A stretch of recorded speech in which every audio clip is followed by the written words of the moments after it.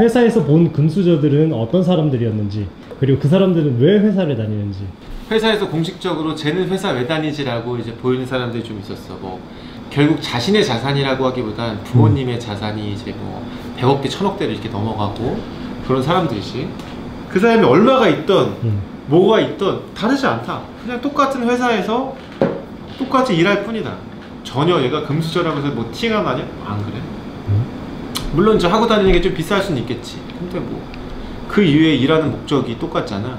어쨌든 성취감이 그런 거니까. 뭐 전혀 이제 이 사람이 금수저였어? 라는 케이스가 되게 많지. 그거 외에 별로 다른 게 없는 것 같아. 필딩 있으면 뭐해? 일 안 하면? 당연히 일을 해야 되는 거 아니야? 성취감을 위해서 하는 거니까. 맨날 술만 마셔?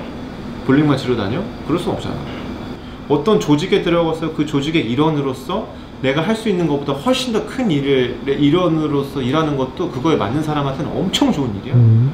내가 뭐 얼마가 있던지 내가 마케팅 비용으로 뭐뭐자 30억짜리 이제 프로젝트를 했어.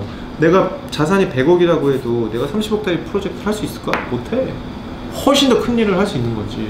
그래서 그, 그 조직 안에 들어가서 뭔가 활동한다는 건 되게 좋은 활동이라고 생각하고 예를 들면 그런 거야. 주변에도 내 주변, 어, 나는 회사원이 딱 맞아.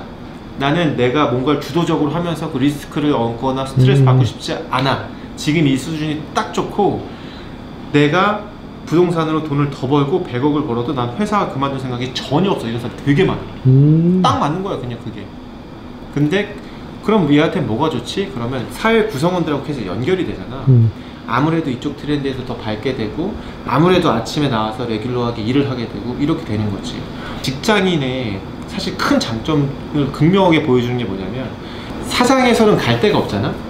은퇴하, 은퇴를 많이 하거나 다른 회사로 가거나 둘 중에 하나인데 은퇴를 하잖아? 그러면 급격하게 늙어 회사를 다니면서 규칙적으로 생활하고 보고받고 머리 쓰고 이렇게 하다가 이제 할 게 퇴직하면 바둑둑 골프도 하루 이틀이지.